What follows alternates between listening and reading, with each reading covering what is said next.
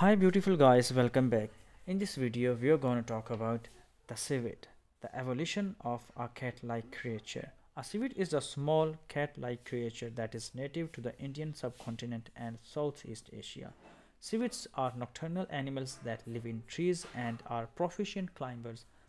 They are omnivorous, meaning that they eat both plants and animals. Civets are often considered to be pests because they consume crops, but they are also hunted for their meat and for their musk, which is used in perfumes.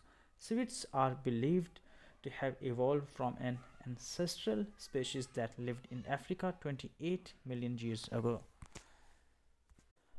The civet is a solitary creature that spends most of its time in trees.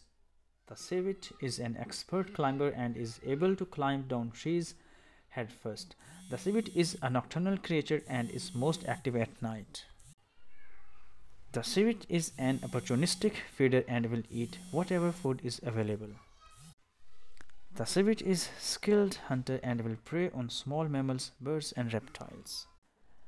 The civet is an reproductive creature with a gestation period of approx approximately 3 months.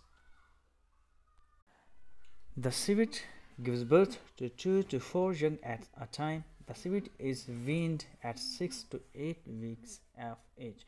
The civet reaches sexual maturity at 1 to 2 years of age. The civet has a lifespan of 10 to 12 years in the wild. This animal is hunted by humans for its fur. The civet is also hunted for its meat, which is considered a delicacy in some cultures. The civet is also used in traditional Chinese medicine. It is considered to be a pest by farmers as it often preys on livestock.